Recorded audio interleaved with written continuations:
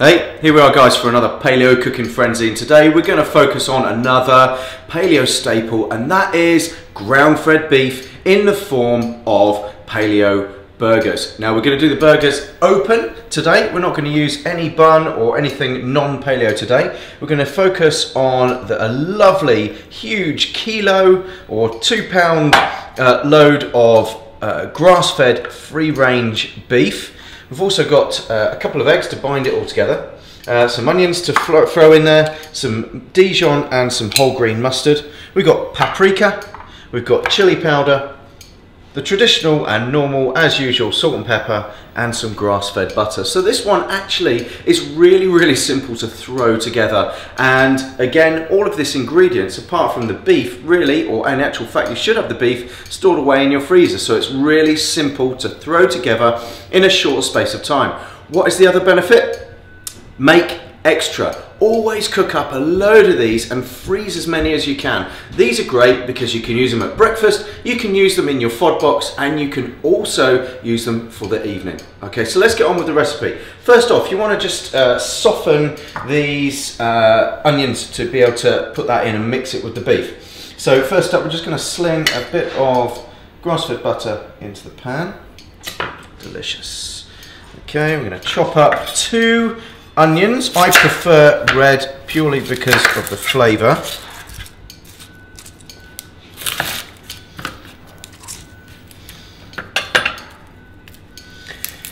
You want to dice these up nice and small. If you want to learn more about dicing, then take a look on the website for that specific video.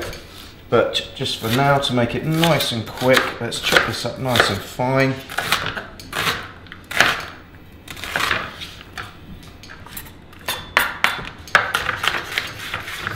Nice fine chunks of this.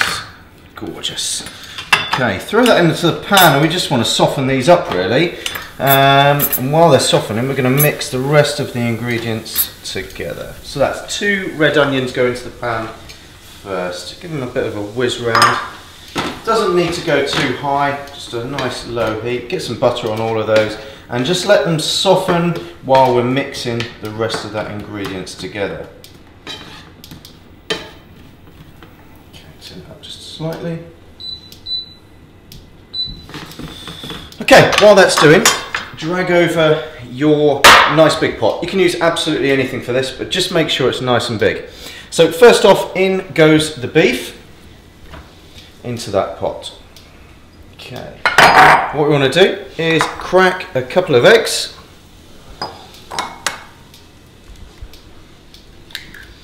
Into that.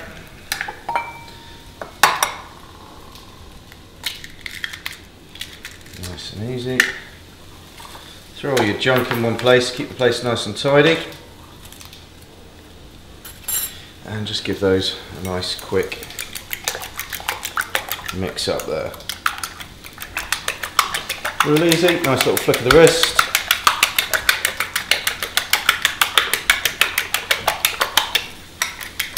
Don't need to worry too much because again we're going to get down and dirty with this and we're going to use our hands. Make sure you wash your hands always before you start cooking because I like to really rough it and get involved with the meat. Feel what's going on. Okay pour that in. This is going to hold it all together. Okay keep that to one side. Now in goes the Dijon sorry the whole grain. Two tablespoons and two tablespoons of Dijon. This adds an immense amount of flavour, so really, really important. Not too strong of flavours, but those two together works really, really well. In goes one teaspoon of paprika and one teaspoon of chili powder.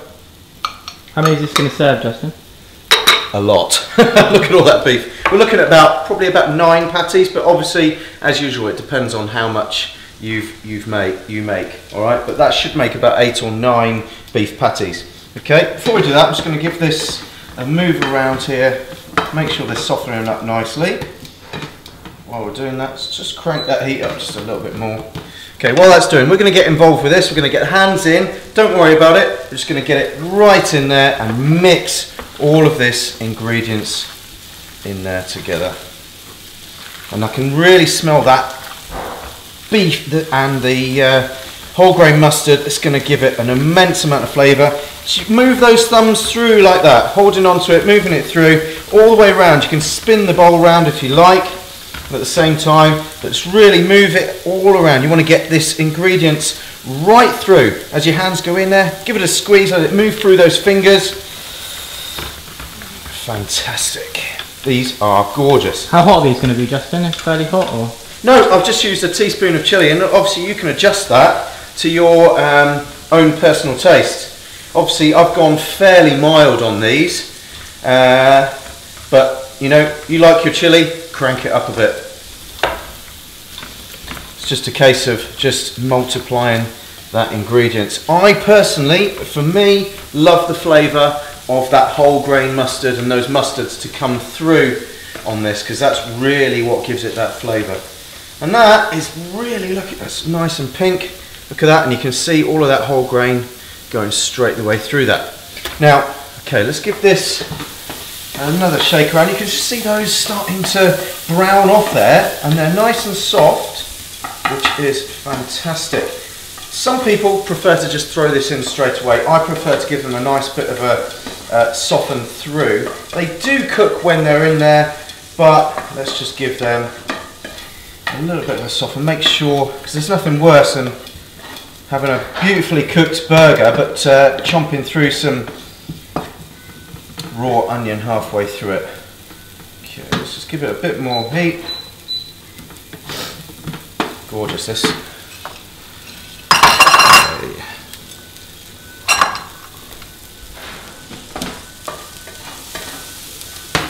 Coming on.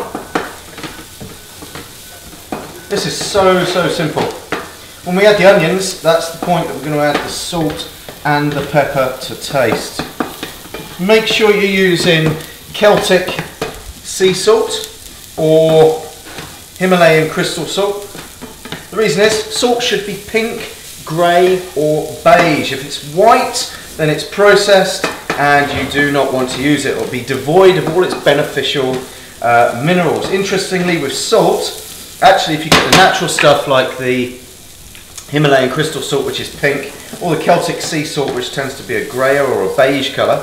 Um, if you were to analyse that, it would actually be very similar in its mineral makeup to amniotic fluid, which is actually where we spent the first nine months of our lives, obviously. So that's how beneficial this can be. So salt is not bad because not all salt was created equal. Right, let's get this nicely browned, nice and soft. Let's get that into that beef there and the rest of the ingredients. Okay, put that to one side. And in goes a nice pinch of salt, probably a couple actually I'm going to put in. And some ground pepper. Beef and pepper go amazing together. Okay, and again we just want to get our hands in there. Flip it over first because those onions are going to be hot. Okay, so get that cold beef on top and then it won't burn you. Okay, and again, really get that, make sure all of that onion is really mixed through. Okay, again, using the thumbs to mix all that through, spinning it around. Smells gorgeous, absolutely fantastic. Look at that.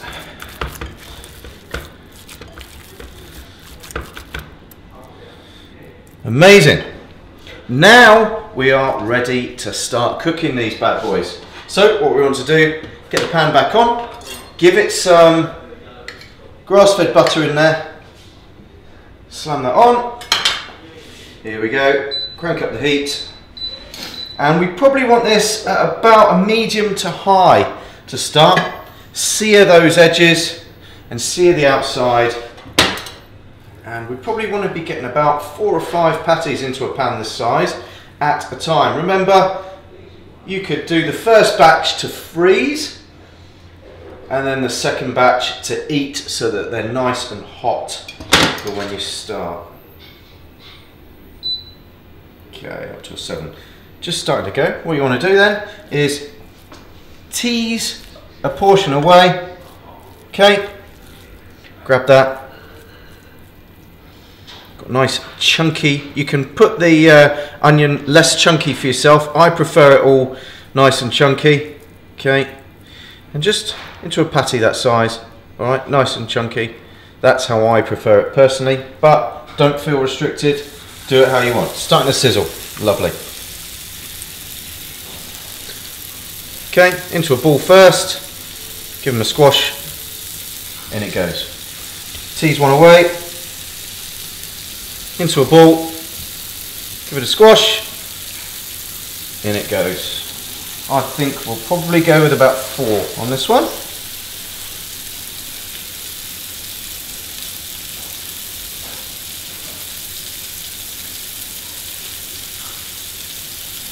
Okay. Lovely. Move them around. Get some butter underneath, make sure they're not sticking. Up to one side. And we are cooking. Beautiful.